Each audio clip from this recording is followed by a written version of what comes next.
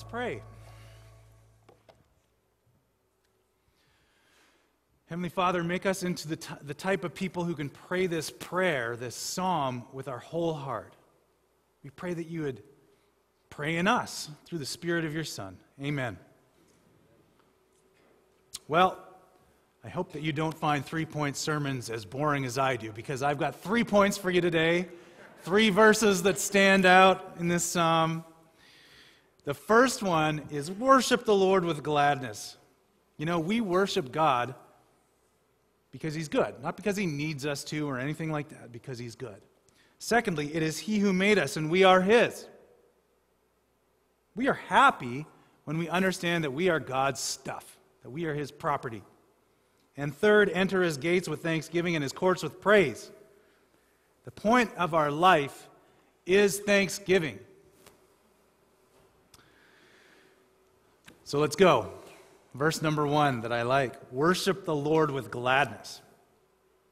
Now, when I first moved to Toronto uh, a while ago, there was this atheist on the hall I would hang out with, and we were walking down Hoskin Avenue one day, or Harbord? Harbord, Hoskin. I, I lived on two different streets for a while, and they both started with H, and it's been like a couple of years. Anyway, he told us, we're walking along, and he told us, This is utterly ridiculous that your God wants you to worship, wants you to worship him. Like, what, what kind of egomaniac is this guy anyway? And I think this is kind of a, a question we've all asked ourselves at, at one point or another. It came up in the youth group the other day, which was fun. Why do we grovel before this big being? Well, what is God? What is God? Is he like the Christian version of Zeus, a man up on a mountain. Most people still believe in God, but we can't take for granted that we all think the same thing about God. You know, I'll never forget this conversation I had with a friend of mine. I think I was back 20 years old. I was going through this like hippie phase. I wore floppier toques even than I do now. It had tassels on it. I looked totally ridiculous. I was out for coffee, me, and this girl, and we got talking about creation. And, and I just assumed, like, right, everyone knows that God's the creator. And no, she just didn't get it. Like, I'm going, before creation, there was no time, no matter, no stuff, nothing but God. And for her, that just didn't make sense. There always had to be stuff, and God was just kind of the biggest bit of stuff, the most powerful bit of stuff, like a thing in the universe of other things.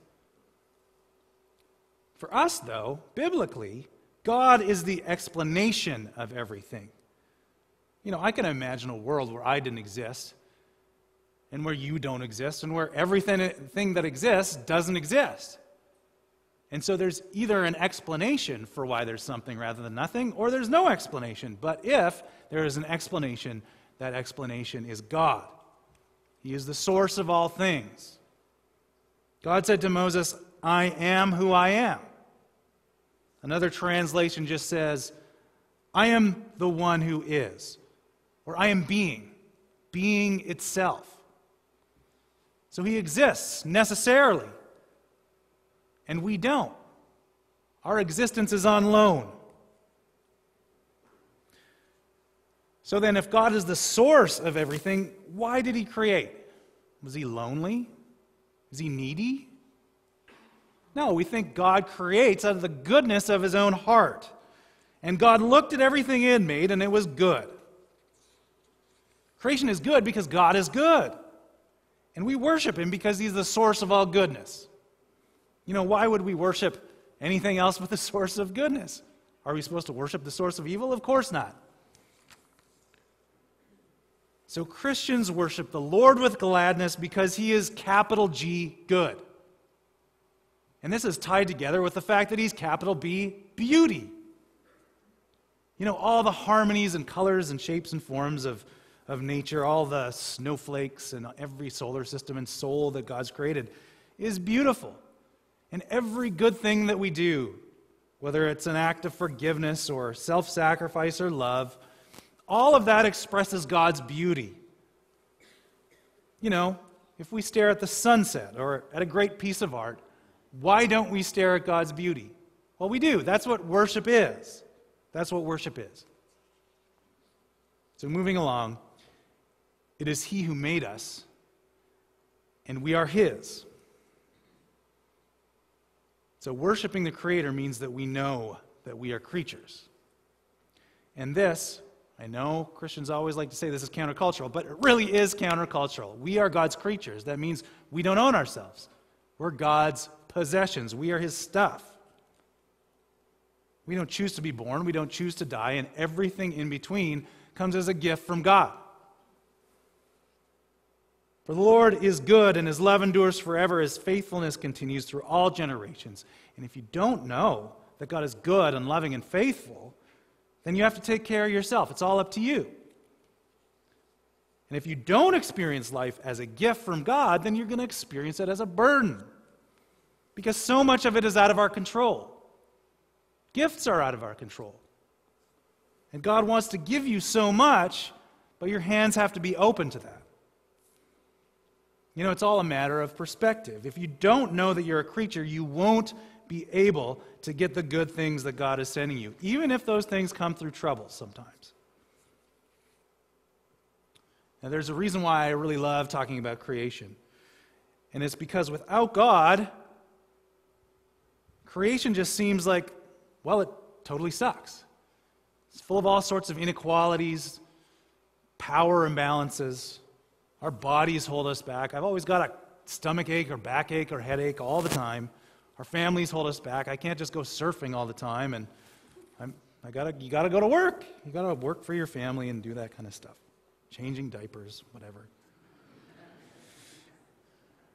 But we want control. We want more control. We want more freedom than that. And that's why sometimes we don't like this world that God has created. We don't like it. One of the main ways we try and get control is through money. We try to protect ourselves with stuff. And Jesus told them this parable The ground of a certain rich man yielded an abundant harvest. He thought to himself, What shall I do? I have no place to store my crops. Then he said to him, This is what I'll do. I will tear down my barns and build bigger ones and there I will store my surplus grain, and I'll say to myself, You have plenty of grain laid up for many years. Take life easy, eat, drink, and be merry. But God said to him, You fool! This very night your life will be demanded from you. Then who will get what you have prepared for yourself? This is how it will be with whoever stores up things for themselves but is not rich toward God. Does this sound familiar? This describes me. This describes me. Except for I don't have big grain, grain bins. But every time, every time I start trying to control my life in this kind of way, I always run into this other passage. And the feeling that comes over me every time I hear this passage is like, what? Why didn't I think about that? But like it fills me with peace. Jesus says, Therefore I tell you, do not worry about your life what you will eat or drink, or about your body, what you will wear. Is not life more than food, and the body more than clothes? Look at the birds of the air. They, they do not sow or reap or stow, store away in barns, and yet your heavenly Father feeds them. Are you not much more valuable than they? Can any one of you, by worrying, add a single hour to your life? That always pops up into my life just at the right time. And man, it's a challenge, but it does, it brings a sense of peace, right? The happy person truly is able to let go of their worries. Just let go of those controls and trust God. Trust God. It is He who made us, and we are His. Thank God for that. So, the next passage enter His gates with thanksgiving and His courts with praise. Thanksgiving is the point of life, it's central to who we are as Christians. Our whole life comes from God. So we give Him thanks for everything He sends. And giving thanks implies giving, thanksgiving, giving. We can only give what we've got from God. I want to go through three things that we give obedience, alms, and Holy Communion. See what I'm doing here? I've just turned this into like a six point sermon because there's subpoints. Get out your pens and notepads and just like drop down menus in your minds. It's getting complicated. Obedience, obedience. When you have nothing else to give, you give your strength to God. You know, will our country be changed for the better if we put the Ten Commandments up in our courtrooms? Well, maybe.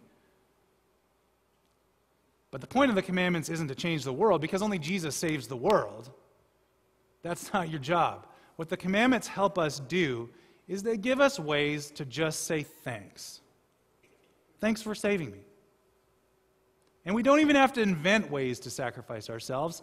God's already just given them to us. Hey, just give me your tongue, tell the truth. Give me your hands, give up violence. Give me your desires, don't covet, and so on. The Christian is a living sacrifice of thanks. That's what we are. Alms. Now, alms are different than offerings. Offerings, they keep the church running, they help us do our mission, but alms, they go straight to the poor. Alms, they go straight to the poor. And in the Bible, if there's anything close to buying a ticket to heaven, it's alms. But God said to him, You fool, this very night your life will be demanded from you. Then who will get what you've prepared for yourself? This is how it will be with whoever stores up things for themselves, but is not rich towards God. So the poor are the ones who take our money directly to God. That's the only way your money is getting to heaven, is through them. And if you're interested in more of this, go to YouTube afterwards. Search Gary Anderson. He's a New Testament guy. He'll give you all the details on this. It's, it's really cool. All of the biblical verses that are talking about like how much God loves you to give to the poor. His name's Gary Anderson. Finally, Holy Communion. What else do we call it? Well, we call it the Eucharist, which just means thanksgiving. That's what it means, thanksgiving. Now, in the old days, I, I think the church would probably just gather up their grain and their grapes and make some bread and wine. And it came straight from the community, right? That's why some churches these days uh, say the same thing when they bring up the bread and wine as they do when they bring up the offering. In, in, in old timey language, they'll say, Thine own of thine own have we given thee. And what they're saying is, We're only giving you back the stuff that you've already given us. So here's our food, here's our money, here's our very life, our livelihood. And then the pastor blesses it and gives it back to the people. And it's this like giving and receiving cycle that we have going on from God, right? This is what it means to be a Christian. The whole Christian life is summed up as thanksgiving. Everything we do is Eucharistic. Thanksgiving. It's the core of who we are. So now, as I'm sort of drawing to an end, just I want to wrap things up, just give you a few reminders to meditate on a little bit. Like, do you worship a good God? Is your God good? What do you think about God? Is your God good? Then worship Him with all of your heart. Are you glad that you are His? Then give Him your worries. I have to remind myself that all the time. Give Him your worries. He's your defender, He loves you, He is faithful. You are God's property. Are you thankful for his gifts? Then give him loyalty and obedience. Give him alms to the poor and give yourself at the Lord's table. And that's what we're here to do today. That's the next part of the service we're going into. Amen?